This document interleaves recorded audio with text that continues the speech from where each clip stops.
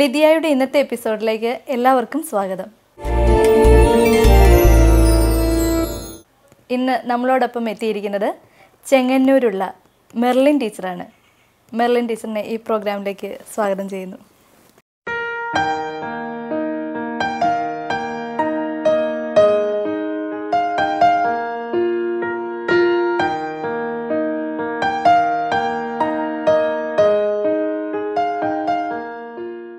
ടീച്ചറെ ടീച്ചറെ തന്നെ ഒന്ന് പരിചയപ്പെടുത്താവോ? ടീച്ചറിന്റെ ഫാമിലിയിലെ ആരൊക്കെയുണ്ടെന്നും ടീച്ചർ എന്ത് ചെയ്യുവാണെന്നും?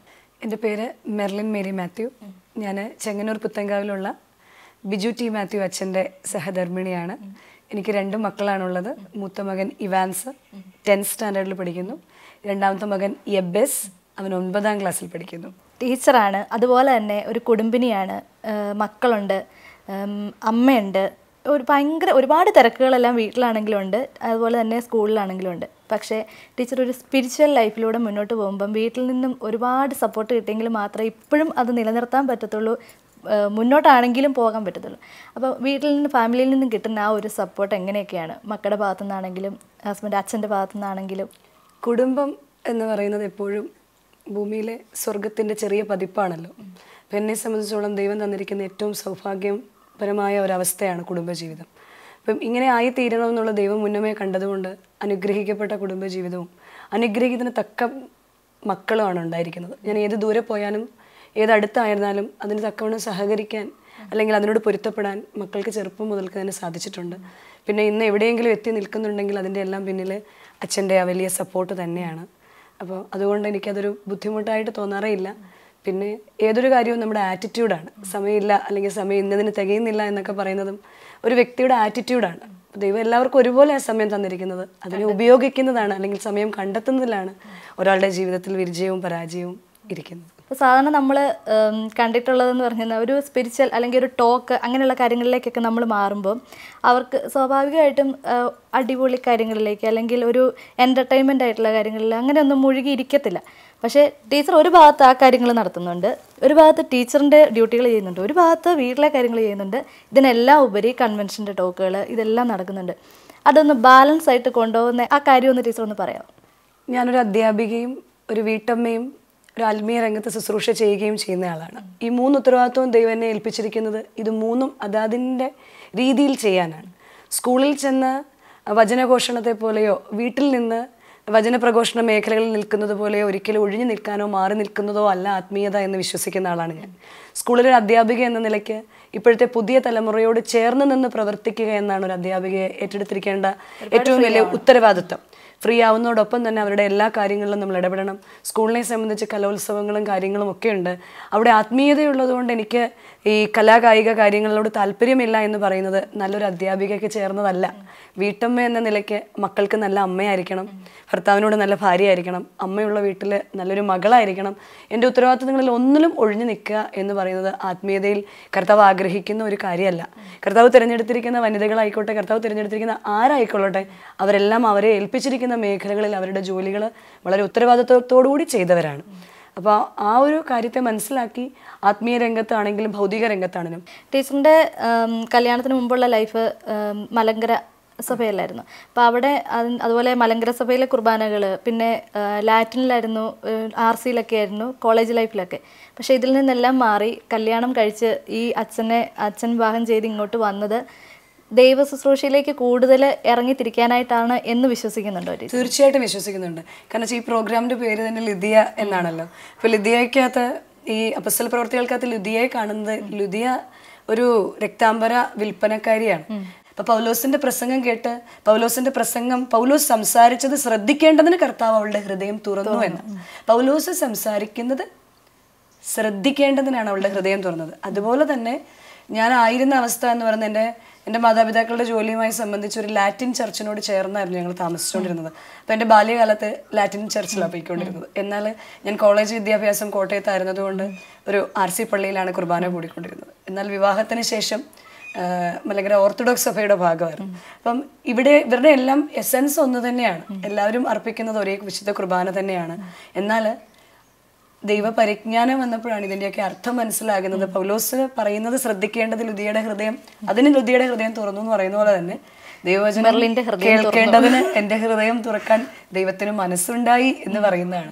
അച്ഛനും ടീച്ചറോടെ ചേർന്നിട്ടൊരു പാലേറ്റീവ് ഹോം നടത്തുന്നുണ്ട്. സാധാരണ അങ്ങനെ ഒരുപാട് പേര് നടത്തുന്നുണ്ട്. പക്ഷേ ഇതിന്റെയൊക്കെ ഒരു ബേസിക് കൺസെപ്റ്റ് എന്ന് പറയുന്നത് മിക്കാരും മിക്കയിടത്തും തന്നെ എന്തെങ്കിലും ഒരു നല്ല ഇൻകം പ്രതീക്ഷിച്ചിട്ടായിരിക്കും. പക്ഷേ ഞാൻ കേട്ടിടത്തോളം നിങ്ങളുടെ ഈ ഒരു സൊസൈറ്റി അല്ലെങ്കിൽ ഈ ഒരു സംഘടന പോകുന്ന അങ്ങനെ ഒരു കാര്യത്തിലല്ല ബേസ് ചെയ്തിട്ടല്ല. എങ്ങനെയാണ് അതൊന്ന് ബാലൻസ് ചെയ്ത് പോകുന്നത്? അല്ലെങ്കിൽ ഇതിലേക്കൊക്കെ അവരുടെ കാര്യങ്ങൾ എങ്ങനെ നടന്നു പോകുന്നത്? നേഴ്സുമാരുണ്ട് ഡോക്ടേഴ്സ് ഉണ്ട് അൻപത് പേരോളം ഉണ്ട്. യഥാർത്ഥത്തിൽ നമ്മൾ തന്നെ ശുശ്രൂഷയുടെ ഭാഗമാവുകയാണെങ്കിൽ ഒരിക്കലും നമുക്ക് അങ്ങനെ ഒരു ചിന്ത വരില്ല. കാരണം എത്ര പ്രഗത്ഭരായ മനുഷ്യരാണെങ്കിലും മനുഷ്യന്റെ അവസാന കാലഘട്ടത്തിൽ അല്ലെങ്കിൽ തളരുന്ന അവസ്ഥയിൽ മനുഷ്യൻ ഇത്രയേ ഉള്ളൂ എന്ന് നമുക്ക് പഠിക്കാനാണ് നമ്മുടെ മുൻപിൽ ഇങ്ങനെ ഓരോ വ്യക്തികളെയും ദൈവം കാണിച്ചു തരുന്നത്. പലരെയും പലേറ്റീവിന്റെ അകത്തേക്ക് കൊണ്ടുവരുന്നത് പുഴുവരിക്കുന്ന അവസ്ഥയിലാണ്. അവരെ വളരെ മനസ്സോടെ നോക്കുന്ന ഒരു ഡോക്ടറും അവരെ വളരെ മനസ്സോടെ നോക്കുന്ന നഴ്സും നഴ്സസും ഒരു ചിലപ്പം നാട്ടുകാരെത്തിക്കുന്നവരുണ്ട്. ബസ് സ്റ്റാൻഡിലൊക്കെ കിടക്കുന്നവരെ പോലീസുകാർ എത്തിക്കാറുണ്ട് പിന്നെ മക്കളുടെ സാഹചര്യത്തിന്റെ കുറവ് കൊണ്ട് ഇപ്പൊ ഒരുപാട് നിയമപരമായ കാര്യങ്ങളൊക്കെ അതിന് നടത്തും എപ്പോഴും പാലിറ്റീവ് ഹോമുകൾക്ക് നിയമമുണ്ട്. ഗവൺമെന്റിന് കൃത്യമായ നിയമമുണ്ട്. ഗവൺമെന്റിൽ നിന്ന് എപ്പോഴും വിസിറ്റുകളുണ്ട്. അപ്പോൾ അതിന്റെ നിയമങ്ങളെ അനുസരിച്ച് നമ്മൾ ഒരു ഹോം നടത്തുകയാണെങ്കിൽ നമ്മുടെ ഗവൺമെന്റിന്റെ ഭാഗത്തുനിന്ന് സപ്പോർട്ടാണ് നമുക്ക് എപ്പോഴും ഉണ്ടാവാറ്. അല്ലാതെ നമുക്കൊരു ബുദ്ധിമുട്ടുണ്ടാകുന്നില്ല. അവരുടെ നിയമങ്ങളെ അനുസരിച്ച് ഈ രോഗിയെ പാലിയേറ്റീവ് കെയർ എന്ന് പറയുന്നത് തന്നെ സമാധാനത്തോടെ മരിക്കാൻ ഒരു സാഹചര്യം ഒരുക്കി കൊടുക്കുക എന്നുള്ളതാണ്. ഈ സമാധാനത്തോടെ മരിക്കാൻ അല്ലെ അവസാന നാളുകളിൽ അവരെ സ്നേഹം കൊടുത്ത് അവരുടെ അവസ്ഥയിൽ അവരുടെ വേദനകളിൽ പങ്കാളിയാകുക എന്ന് പറയുന്നതാണ് ഈ പാലിയേറ്റീവ് ഹോം എന്ന് പറയുന്നതിന്. ഈ രണ്ടായിരത്തി നാലിലാണ് ശരണാലയം എന്ന് പറയുന്ന ഒരു ഹോം അച്ഛനാദ്യമായിട്ട് ഒരു ട്രസ്റ്റ് ഇവിടെ അടുത്ത് തന്നെ ഒരു ഒരു ട്രസ്റ്റ് രൂപീകരിച്ച് അത് ആരംഭിക്കുകയാണ്. എന്നാൽ അവിടെ ബെഡ് റിഡൻ പേഷ്യൻസിന് ചില ബുദ്ധിമുട്ടുകൾ ഗവൺമെന്റിന്റെ നിബന്ധന ഉള്ളത് കൊണ്ടാണ് വീണ്ടും ഒരു പാലിയേറ്റീവ് ഹോമായിട്ട് നമ്മളൊരു പുതിയ ഒരെണ്ണം ആരംഭിച്ചത്. അതൊരു ആറ് വർഷമായിട്ട് നടത്തുന്ന Saint Andrews pain and palliative care centre ആണ്. അതിന്റെ എല്ലാ കാര്യങ്ങളിലും നമ്മൾ സംബന്ധിക്കുമ്പോൾ മനുഷ്യൻ എത്ര നിസാരൻ എന്ന് അതിനകത്ത് പഠിക്കേണ്ടത്. അല്ലാതെ സാമ്പത്തികമായിട്ട് നമ്മളെക്കാൾ കൂടുതൽ സമ്പാദിച്ചവരാണ് പലരും അവിടെ ഇന്ന് കിടക്കുന്നത്. അപ്പൊ ഇത് കാണുമ്പം സമ്പത്ത് നമ്മൾ ഒരിക്കൽ ഇവിടെ ഇട്ടിട്ട് പോകേണ്ടതാണെന്നാണ് ശരിക്കും യഥാർത്ഥത്തിൽ നമ്മൾ അവരിൽ മനസ്സിലാക്കേണ്ടത് നമ്മൾ പഠിക്കേണ്ടത് അവിടെ വിസിറ്റ് ചെയ്യുന്നവരും ജീവിതത്തിൽ പ്രാവർത്തികമാക്കേണ്ടത്. ടീച്ചറിനെ പോലെ തന്നെ ഒരു സ്പിരിച്വൽ ലൈഫ് കീപ്പ് ചെയ്യുന്നവരാണ് ടീച്ചറിന്റെ മക്കളും. കുറേ ഒരുപാട് സമ്മാനങ്ങളും എന്താ ബൈബിൾ സംബന്ധമായ രീതിയിൽ അതൊന്ന് പറയാമോ ഇങ്ങനെ? മാതാപിതാക്കളെ പോലെ ആയിരിക്കുമല്ലോ എപ്പോഴും മക്കളും ബിഹേവ് ചെയ്യുന്നത്. അപ്പൊ അവർ ജനിച്ചു വളരുന്ന സാഹചര്യം എന്ന് പറഞ്ഞ ഒരു അച്ഛന്റെ മക്കളായിട്ട് തന്നെയാണ്. അപ്പൊ അവരുടെ അത് പരിമിതിയാണെന്ന് അവർക്ക് ഒരിക്കലും തോന്നിയിട്ടോ അറിഞ്ഞിട്ടോ ഇല്ല. കാരണം അവർ ഇതേ കണ്ടിട്ടുള്ളൂ. അപ്പൊ അവർ ആത്മീയ രംഗത്തെ ഒരു ഒരു ബാധ്യതയായിട്ടൊന്നുമല്ല. അവരുടെ ജീവിത ശൈലിയായിട്ടേ കാണാൻ അവർക്ക് പറ്റി പറ്റിയിട്ടുള്ളൂ. അല്ല വലിയ മോനിപ്പോൾ പത്താം ക്ലാസ്സിലും ചെറിയ മോനിപ്പോൾ ഒമ്പതാം ക്ലാസ്സിലും പഠിക്കുന്നു. ചെറുപ്പകാലം മുൾക്ക് തന്നെ വേദപാഠ ക്ലാസ്സുകളിൽ സൺഡേ സ്കൂളുകളിലെ മത്സരങ്ങളിലും കാര്യങ്ങളിലുമാണ്. അപ്പോൾ അവർ ആക്റ്റീവ് എന്ന് പറയുന്നതോടൊപ്പം തന്നെ ആക്റ്റീവ് എന്നല്ല പറയുക ശുശ്രൂഷയുടെ ഭാഗമാണ്. പിന്നെ ദേവാലയത്തിലാണെങ്കിലും മദ്ബഹായിൽ അപ്പനോടൊപ്പം തന്നെ ശുശ്രൂഷ ചെയ്യുന്ന രണ്ട് മക്കളായാണ് അവർ ചെറുപ്പം മുതൽ തന്നെ ദൈവം അനുഗ്രഹിച്ച് തന്നിരിക്കുന്നത്.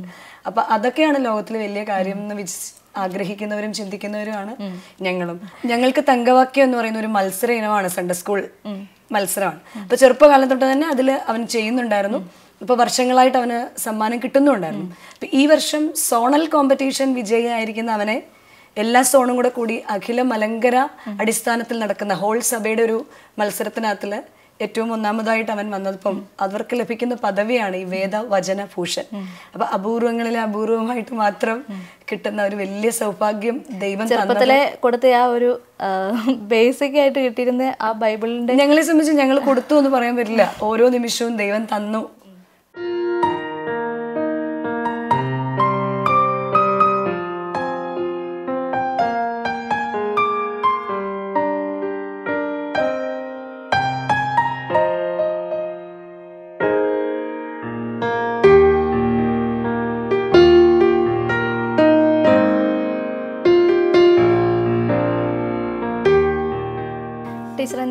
ഇടയിൽ സ്ത്രീകൾ ഈ ഒരു വചനപ്രഘോഷണമായിട്ടുള്ള കാര്യങ്ങളിലേക്ക് ഇറങ്ങുന്ന അങ്ങനെ ഒരു പാരമ്പര്യമില്ല. വേണ്ട പാടില്ല എന്നൊന്നുമില്ല പക്ഷേ അങ്ങനെ ഒരു പാരമ്പര്യം നിങ്ങളുടെ ഇടയിലില്ല. പക്ഷെ ടീച്ചർ ഏറ്റവും വളരെ ചെറുപ്പത്തിൽ തന്നെ ഇങ്ങനെയൊരു ഇങ്ങനെ ഒരു കാര്യത്തിലേക്ക് ഇറങ്ങി ഇപ്പോഴും അത് മുന്നോട്ട് പോവുകയൊക്കെ ചെയ്യുന്നുണ്ട്. ബൈബിളുമായിട്ട് കണക്ട് ചെയ്ത് ടീച്ചർ അതിനെക്കുറിച്ച് പ്രേക്ഷകരോട് ടീച്ചറിന് എന്തായിരിക്കും പറയാനുള്ളത്? ആ ഒരു അനുഭവത്തെക്കുറിച്ച് അല്ലെങ്കിൽ അത് മുന്നോട്ട് പോകുന്നതിനെക്കുറിച്ച്.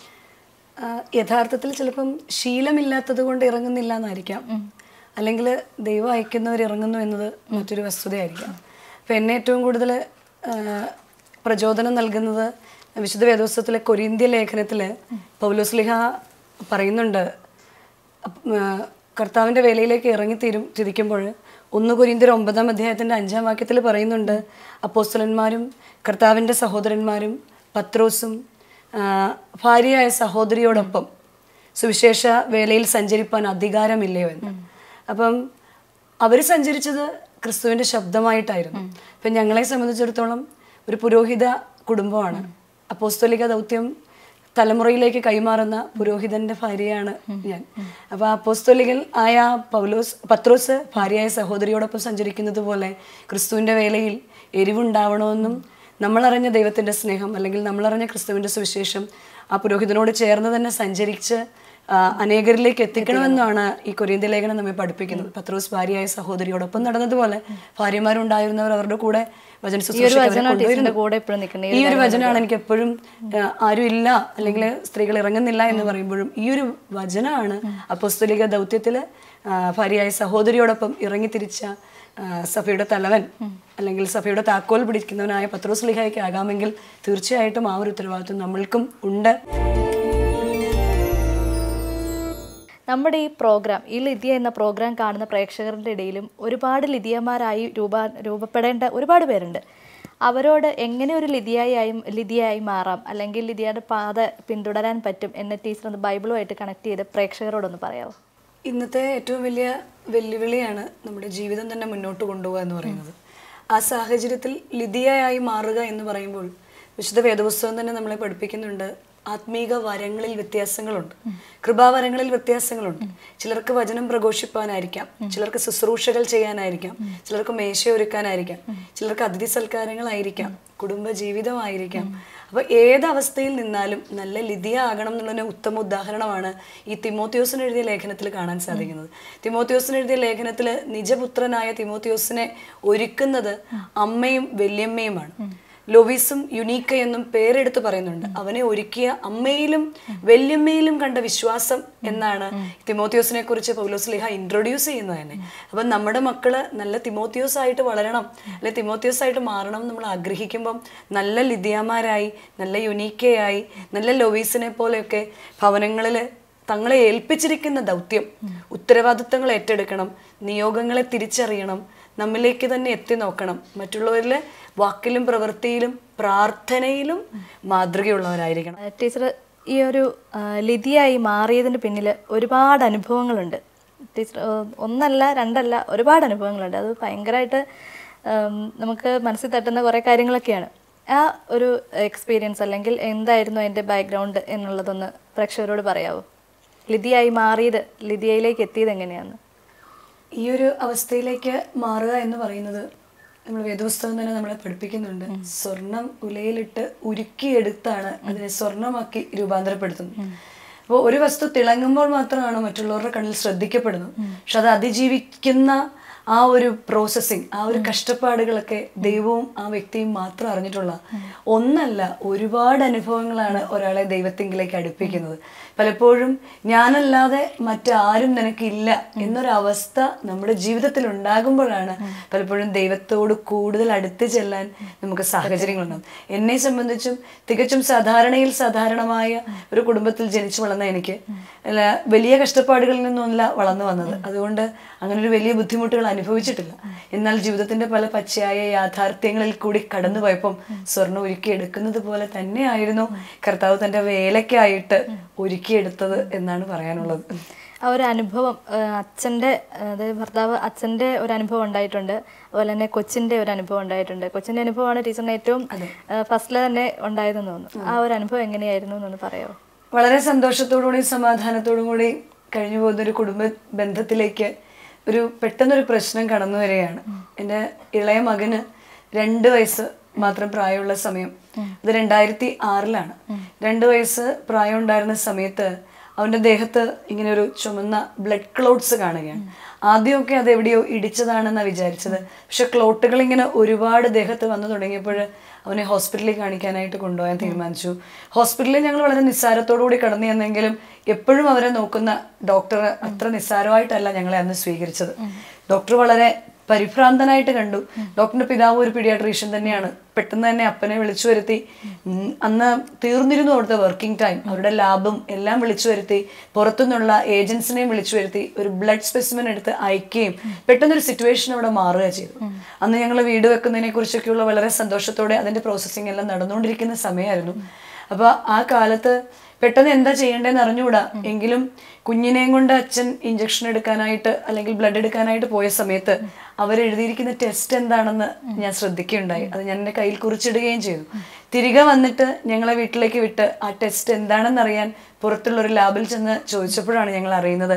അത് ഈ ബ്ലഡ് ക്യാൻസറിന്റെ സിംറ്റം കാണുന്ന ഒരു ടെസ്റ്റാണ് അപ്പം അക കാരണമൊന്നുമില്ലാതെ അല്ലെങ്കിൽ അകാരണമായിട്ട് ഒരു മനുഷ്യന്റെ ദേഹത്ത് ബ്ലഡ് ക്ലോട്ട്സ് അങ്ങിങ്ങായി ഉണ്ടാകുന്നത് അത് വൈദ്യശാസ്ത്രത്തിന്റെ കണ്ടുപിടുത്ത പ്രകാരം അത് ലുക്കിമിയ എന്ന അസുഖത്തിന്റെ സിംറ്റമാണ് അത് പോയി തിരിച്ചു വന്ന് അറിഞ്ഞുവെങ്കിലും ഞങ്ങൾ മാനസികമായിട്ട് വളരെ തകർന്ന ഒരവസ്ഥ ഏതൊരു അപ്പനും അമ്മയ്ക്കും ഉണ്ടാകുന്ന ആ ഒരവസ്ഥ. അത് പലപ്പോഴും പലരുമായിട്ടും ഡിസ്കസ് ചെയ്ത സമയത്ത് ആദ്യം തന്നെ ഒരാൾ പറഞ്ഞത് അവന്റെ പേര് യബ്ബേസ് എന്നാണ്. യബ്ബേസ് വിശുദ്ധ വേദോസ്തത്തിൽ നമുക്ക് കാണാം കണ്ണുനീരിന്റെ പുത്രൻ എന്നാണ് യബ്ബേസ് എന്ന വാക്കിന്റെ അർത്ഥം. അത് ദിനവൃത്താന്ത പുസ്തകം പറയുന്നുണ്ട് അവന്റെ അമ്മ അവനെ കണ്ണുനീരോടുകൂടി പ്രസവിച്ചതിനാകിയാൽ അവന് യാബസ് എന്ന പേര്.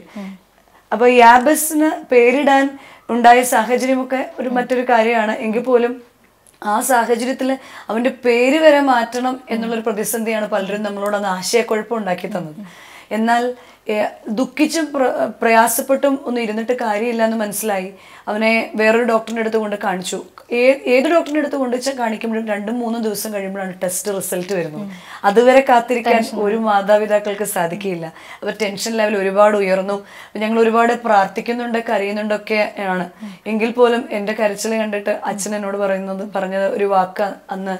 അബ്രഹാമിന് വാർദ്ധക്യത്തിൽ തൊണ്ണൂറ് വയസ്സിലാണ് പുത്രനെ കൊടുത്തത്. എന്നിട്ടും യഹോവയാം ദൈവം ചോദിച്ചപ്പോൾ ഒരു മടിയില്ലാതെ അബ്രഹാം തന്റെ പുത്രനെ കൊടുത്തത്. നമ്മളുടെ യൗവനത്തിലുണ്ടായ കുഞ്ഞായവൻ.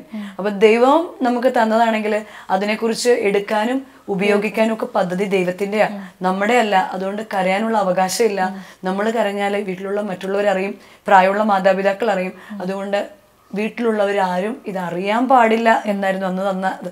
അപ്പൊ ഉള്ളിൽ ഈ ദുഃഖം അടക്കി വെക്കുക എന്ന് പറയുന്നത് വലിയൊരു വെല്ലുവിളി തന്നെയായിരുന്നു.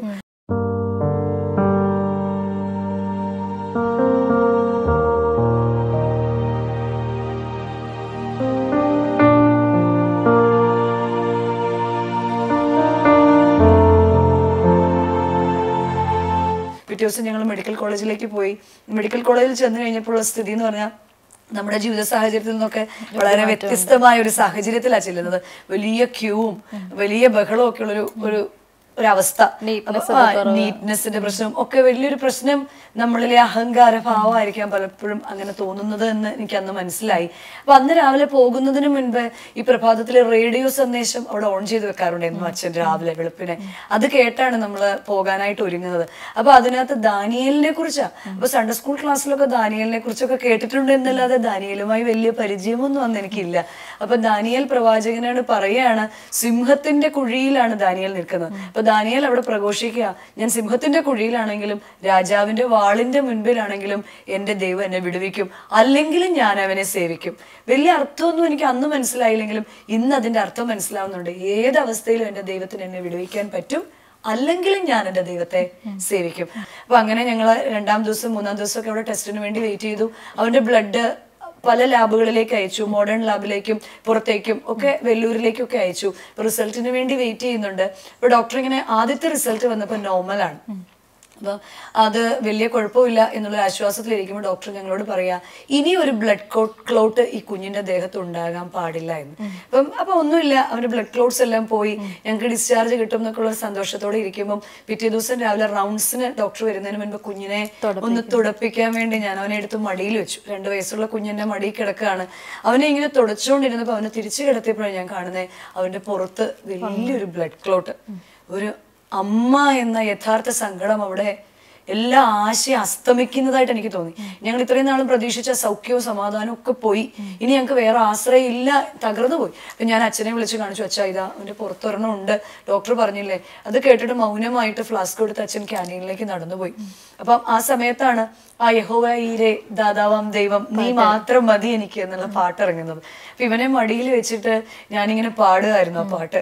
നീ മാത്രം മതി യഹോവ റാഫ.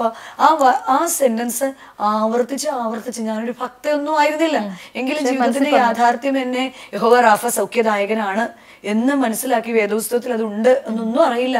എങ്കിലും അന്ന് അത് തന്നെ പാടി നീ മാത്രം മതി നീ മാത്രം മതി എന്ന് പറഞ്ഞ് എന്റെ കണ്ണുനീര് കൊണ്ട് ആ കുഞ്ഞങ്ങ് തണുത്ത് അവൻ അവിടെ മടിയിൽ കിടക്കുകയാണ്. അവൻ അറിയാതെ ഉറങ്ങിപ്പോയി ഡോക്ടർ റൗണ്ട്സിന് വന്നു. ഡോക്ടർ റൗണ്ട്സിന് വന്നു കഴിഞ്ഞപ്പം എന്തെങ്കിലും ഉണ്ടോ എന്ന് ചോദിച്ചതിന് മറുപടി ആയിട്ട് ഞങ്ങൾ പറഞ്ഞു ഉണ്ട് ഡോക്ടർ. അവന്റെ പുറത്തൊരു പാട് കൂടെ കാണുന്നുണ്ട് എന്ന് പറഞ്ഞു. അപ്പൊ ഡോക്ടർ കാണിക്കുക എന്ന് പറഞ്ഞപ്പോൾ ഞങ്ങൾ അവനെ എടുത്ത് തിരിച്ചു കിടത്തിയപ്പോൾ ഞങ്ങൾ ദൈവം ചെയ്ത ദൈവം ഇന്നും ജീവിക്കുന്ന ദൈവമാണെന്നുള്ളതിന്റെ ഏറ്റവും വലിയ അടയാളം അവിടെ കാണുക ഞങ്ങൾ രണ്ടു പേരും കണ്ട പുറത്തെ ആ പാട് ആ കുഞ്ഞിന്റെ പുറത്തില്ല. ഞങ്ങളുടെ ജീവിതത്തിൽ അത് ആ അവസ്ഥയിൽ കൂടെ കടന്നു പോകുന്ന അല്ലെ മക്കളുള്ള ആർക്കും മനസ്സിലാകും ആ തമ്മിലുള്ള വ്യത്യാസം. അവന്റെ പുറത്ത് ആ പാടില്ല. അത് കണ്ട് ഒരു അത്ഭുതമാണ് ഡോക്ടർ നിങ്ങൾ രണ്ടുപേരും കണ്ടതാണോ? കണ്ടതാണ് എന്ന് പറഞ്ഞു. അത് പിന്നെ നമ്മൾ ഡിസ്ചാർജ് ചെയ്യാൻ അവർ താമസിച്ചതിന്റെ കാരണം എന്ന് പറഞ്ഞാൽ മെഡിക്കൽ കോളേജിലെ കുട്ടികൾക്ക് രണ്ട് ദിവസം അവനൊരു പഠന വസ്തുവായിരുന്നു. ഒരിക്കൽ എന്റെ ഒരു സുഹൃത്തിനോട് ഒരു മീറ്റിങ്ങിൽ വെച്ച് ഇങ്ങനൊരു അനുഭവം ഞാൻ പറഞ്ഞപ്പോൾ ആ വ്യക്തിയാണ് എന്നെ ഈ വചന ശുശ്രൂഷ രംഗത്തിലേക്ക് കൈപിടിച്ചുയർത്തിയ എന്റെ ഏറ്റവും പ്രിയ സഹോദരിയും എന്റെ സുഹൃത്തും എല്ലാം ഒരു ലിജി കൊച്ചുമയാണ് അപ്പൊ കൊച്ചുമയോട് ഞാൻ ഇത് പറഞ്ഞപ്പോഴാണ് കൊച്ചുമ പറഞ്ഞത് വലിയൊരു അഭിഷേകം വലിയ അത് ഇപ്പൊ ഞാൻ ചോദിക്കുന്നു അന്ന് എനിക്ക് അഭിഷേകം എന്താ കൃപ എന്താന്നൊന്നും അറിയില്ല. അന്നേരം പ്രാർത്ഥിച്ചിട്ട് കൊച്ചുമേനോട് പറയുന്നതാ ദാനിയലിനോട് പറയുന്നത് പോലെയാ കർത്താവ് പറയുന്നത്. ദാനിയൽ പുസ്തകത്തിന്റെ അവസാനത്തിൽ പറയുന്നുണ്ട് അത് അടച്ചു വെച്ചിരിക്കുക അത് അടച്ചു വെച്ചിരിക്കുക. ആർക്കും കാണാൻ പറ്റുന്നില്ല. എന്താണ് കർത്താവ് ഉദ്ദേശിക്കുന്നത്? ദൈവം അറിയാത്ത മേഖലകളിൽ കൂടി ഉപയോഗിക്കും. അന്ന് ഇരുപത്തിമൂന്നാം സങ്കീർത്തനം മാത്രം അറിയാവുന്ന എന്നെ ഇന്ന് ഇത്രത്തോളം ആക്കി വെച്ച എന്റെ ദൈവം ഇന്നും അത് മുദ്ര ചെയ്ത് സൂക്ഷിച്ചിരിക്കുക. ജീവിതത്തിൽ ഒരുപാട് ഇങ്ങനെ പരുപരുത്ത ഹൃദയത്തിൽ തുളച്ചു കയറുന്ന സാമ്പത്തികമായിട്ടും ജോലിപരമായിട്ടും ആത്മീയപരമായിട്ടും ഒക്കെ ലൈഫിലും ഇതുപോലൊരു അതെ ഞങ്ങളുടെ ജീവിതത്തിൽ വേറെയും ഉണ്ടായിട്ടുണ്ട് ഇങ്ങനെ പ്രശ്നം. അച്ഛനൊരു ഹാർട്ടിന്റെ ഒരു ഒരു പ്രോബ്ലം ഉണ്ടായ സമയത്ത് അതിന്റെ സർജറിക്കായിട്ട് ഞങ്ങൾ വെല്ലൂരിലേക്ക് പോകുമ്പം സാധാരണ ഹാർട്ട് ബീറ്റിൽ അല്ലെങ്കിൽ പാൽപിറ്റേഷൻ ഉണ്ടാകുമ്പം ഐ സിയുയിൽ അഡ്മിറ്റ് ചെയ്ത പേഷ്യന്റിന് സഡൻ ഒരു ഇഞ്ചക്ഷൻ കൊടുക്കുമ്പോഴാണ് റിക്കവർ ആവുന്നത്. പക്ഷെ എന്നാൽ ഞങ്ങൾ ആ സർജറിക്ക് പോകുന്ന സമയത്ത് ട്രെയിനിൽ വെച്ച് ഈ ഹാർട്ട് ബീറ്റ് വേരിയേഷൻ ഉണ്ടായി. വല്ലാതെ ഹാർട്ട് ബീറ്റ് റേസ് ചെയ്ത് ഒരു ടു ഹൺഡ്രഡിലേക്കൊക്കെ എത്തി. ഒരു normal man seventy two eighty ആണ്. ആ ട്രെയിനിൽ വെച്ച ടീച്ചർ വചനത്തിനെ അങ്ങോട്ട് മുറുക്കെ പിടിച്ചുകൊണ്ട് അന്ന് വചനം എന്താണെന്നൊന്നും വലിയ ബോധ്യമൊന്നുമില്ല പക്ഷെ ആരോ എന്റെ ഉള്ളിൽ നിന്ന് പറയാം നിന്നെ വിളിച്ച ദൈവം വിശ്വസ്തന. അവൻ നിന്നെ വിളിച്ചിട്ടുണ്ടെങ്കിൽ നിന്നെ വഴിയിൽ അവൻ ഉപേക്ഷിക്കുകയില്ല. അത് അത് മിഥ്യയോ സത്യമോ ഒന്നും എനിക്ക് അന്ന് അറിഞ്ഞുകൂടാ. എങ്കിലും അന്ന് ചെയിൻ വലിച്ചു ട്രെയിൻ നിർത്തി. അന്ന് ആളുകൾ ഡോക്ടർ അടങ്ങുന്ന ആ വലിയൊരു സംഘം അകത്തേക്ക് കയറി അവർ ഈ പേഷ്യന്റിനെ കൊണ്ടുപോകാൻ ഒരുങ്ങി. രാത്രി പത്തേ മുക്കാൽ പതിനൊന്ന് മണി സമയം ആയതുകൊണ്ട് പെട്ടെന്ന് ഞാൻ ഇറങ്ങാൻ കൂട്ടാക്കിയില്ല. ഞാൻ ഉടനെ അവരോട് പറയായിരുന്നു ഇല്ല ഞങ്ങൾ ഇറങ്ങുന്നില്ല. അപ്പൊ അവർ ഒഫീഷ്യലായിട്ട് എന്നിൽ നിന്ന് എഴുതി വാങ്ങിച്ചു. ഉള്ളിൽ എന്തെങ്കിലും ഒരു വചനം തോന്നി ഉള്ളിൽ തോന്നിയ വചനം നിന്നെ വിളിച്ച ദൈവം വിശ്വസ്തന. അവൻ നിന്നെ വഴിയിൽ ഉപേക്ഷിക്കുകയില്ല.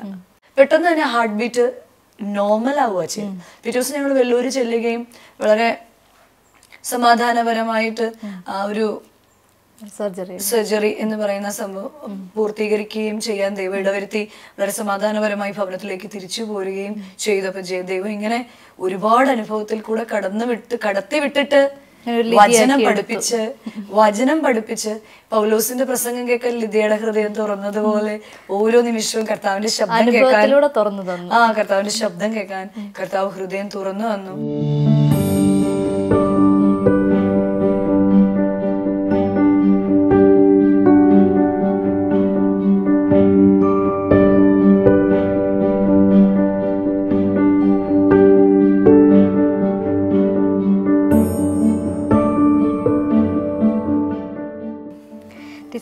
ഒരുപാട് വിലയേറിയ സമയത്തിൽ കുറച്ച് സമയം ഞങ്ങൾക്ക് വേണ്ടി ചിലവഴിച്ചതിൽ ഒത്തിരി നന്ദിയുണ്ട്. ഒത്തിരി നല്ല മെസ്സേജുകളും അനുഭവങ്ങളും എല്ലാം പ്രേക്ഷകർക്കും ഞങ്ങൾക്കും എല്ലാവർക്കും അനുഭവവേദി ആകട്ടെ എന്ന് ഞാൻ പ്രാർത്ഥിക്കുന്നുണ്ട്. ഇത്രയും ഒരു നല്ലൊരു മെസ്സേജ് പ്രേക്ഷകർക്ക് കിട്ടിയെന്ന് ഞാൻ വിശ്വസിക്കുന്നു.